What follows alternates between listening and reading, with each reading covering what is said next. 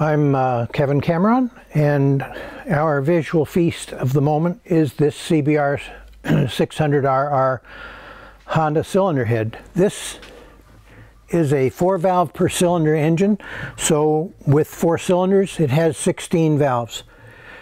The intakes on this side, they're slightly larger. The exhausts on this side, they're smaller because of course exhaust gas has pressure to push it out. Intakes have only the atmosphere to push it in. Now, I've removed the four valves from this cylinder. How are the valves operated? The valves are operated by a camshaft. This bump here is called a cam lobe. It rides against this, which is called an inverted bucket tappet. Some engines have lever followers. This engine has bucket tappets. It's open on one end, the wear surface is on the other, and it is beautiful and unworn after 25,000 miles, which shows you how wonderful oil is. There is one of these tappets under each cam lobe. As the camshaft revolves, it pushes the tappet and the valve springs and the valve open. So to visualize, put in a valve. There's the valve that's closed. When the camshaft pushes the tappet, the valve opens. To admit a fresh charge of fuel and air to the cylinder. Making sure that the tappet, the valve, the retainer follow the camshaft. Each valve has a spring which holds it shut. In this case, there are two springs that are nested together. They sit around the valve in this fashion, and in order to install this, you'll see that there's a little groove there.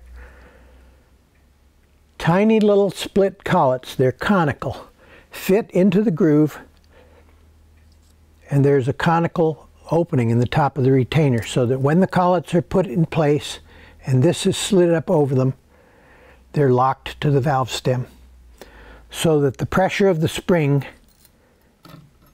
can compel the valve to follow the motion that is ground into this cam lobe. What's quite wonderful is that at peak RPM, each valve is opening and closing 113 times per second. And the whole process of initially lifting the valve, accelerating it towards open, decelerating it to a stop at the top of its lift, and then reversing its motion, now being driven towards closed by the spring following the cam lobe. That process takes three thousandths of a second. That's at peak RPM. Because the valves are exposed to combustion heat. These four combustion chambers are where the fuel and air mixture is burned. It's very hot. Consequently, the valves expand as the engine warms up. There therefore has to be some clearance between the tip of the valve, the whole stack of mechanism, and the cam lobe because otherwise as the valve expanded it would force itself open.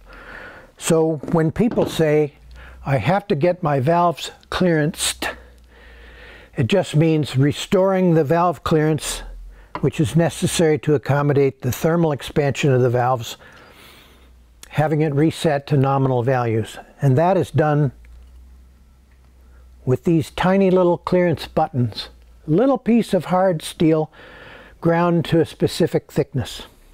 I won't go into the process, but it's very sensible and it's time consuming.